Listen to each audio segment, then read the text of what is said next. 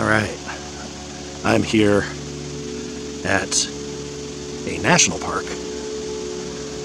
um, that is home of one of my favorite um, favorite big guys.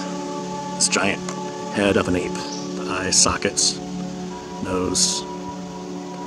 I found him about five or six years ago, and I come visit him a lot. But he's here in this another area that has what I call ruins of buildings and living gi giants at one time and structures that have been, I think, you know, kind of melted. I think there's some sort of melting going on as well. But this is my big, big ape, King Kong. You know, they get those uh, ideas for those movies because that's all true, and that's why it resonates with us so much. Because we know deep down in our DNA that that's the truth. So they'll put those uh, kinds of things in movies, knowing that that's going to uh, resonate with us and get our energy from it. That's why so many things are named after giants stores, cars, you know, sports teams, etc. It's always in plain sight. This guy. Right here, I believe this possibly to be another large creature, just a giant. You can see the nose, the mouth, eyes, back of the head. Might have had a helmet on. It kind of looks like a helmet up here. Completely different color.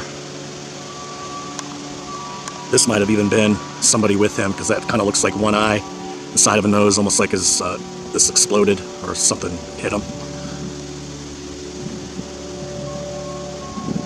The size of these guys. That's the size of their head. And, you know, I mean, that's solid 40 feet high. And you can really tell when you start to get close how much of a scaly creature this was with the spine up here. This huge dragon. That's what I believe it to be. One of my favorites here. It's definitely flesh. And to me, this is the remains of a petrified dragon.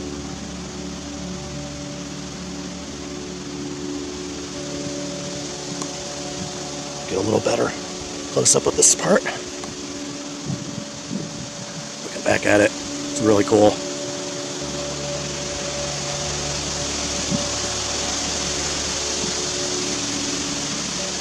So I do, I like coming here to visit uh, my big ape friend and my dragon friend. This big guy is a little different. To me that looks like flesh, like the flesh of a whale.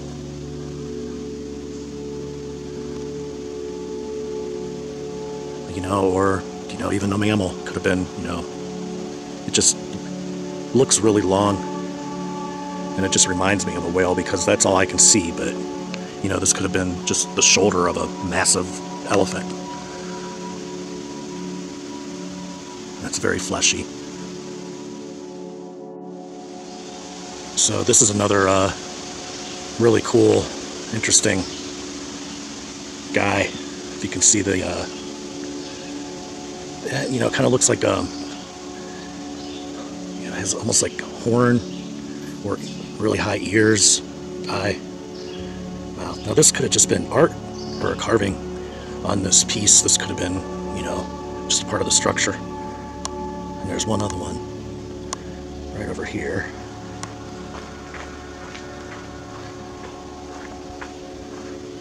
That is pretty obvious. And, you know, this could have very easily been you know, this could be biology or, again, carving on the building. But uh, that sure looks, uh, just looks biological to me. So you can see how that's perfectly squared off there. So this is definitely the melted ruins of something. Um, and this goes on for, well, I would call it, uh, you know, like a city block so to speak. It's huge. The, this, these quote unquote cliffs uh, you know, go on for a while.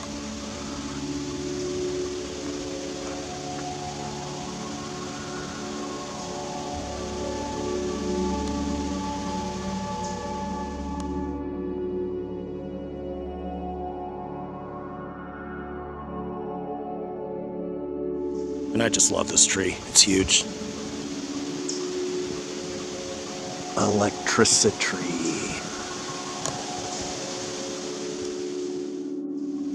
And then uh, if you look, you know, if your eyes have, uh, if you kind of trained your eyes to realize it's not pareidolia, you can start to see these faces and things in the sides of these. But I believe that not all these are actual remains of living things. Some, some of these, you know, ancient structures would have had huge carvings of some kind. Um, so that's what some of that is. This one you can tell that that was stacked on top of that at one point. Those are two separate pieces. And that sits downhill from the upper structure. You know, so this could have actually been, you know, an entranceway of some kind um, going in. Just an example of another part of this. Uh, let's see, um, well, these leaves are in the way. Um, yeah, another corner of a building. And this just goes all the way. see if I can zoom in on this face that I see back here.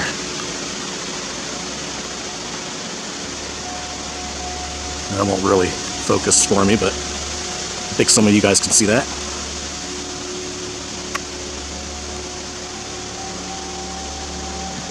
You know, I always go back and forth between what was living and what was a structure.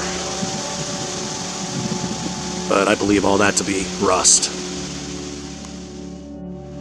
So when I was saying this stuff looks melted, um, that's kind of what I mean.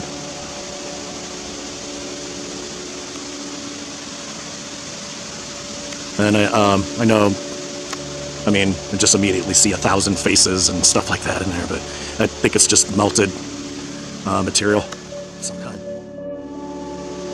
This also could have been the remains of a creature, but it's hard to tell. But it's uh, really cool. And another example of how these are like separate buildings.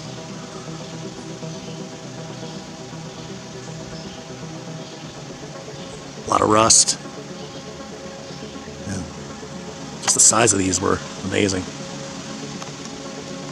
And this is all up on top of a, again, a, like a huge hill. So, probably standing on structure. Just amazing structures, huge.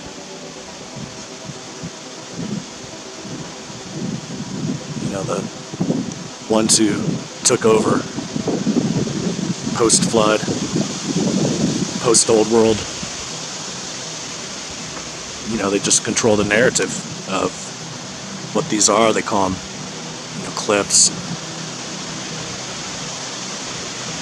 It's a pretty popular spot um, people here in Akron come to, but it's just part of the old world and they can uh, tell us whatever narrative they want, but knowing the truth sets you free, brings you closer to God, and um, that's all that matters. You don't need to believe in God, you can just know God.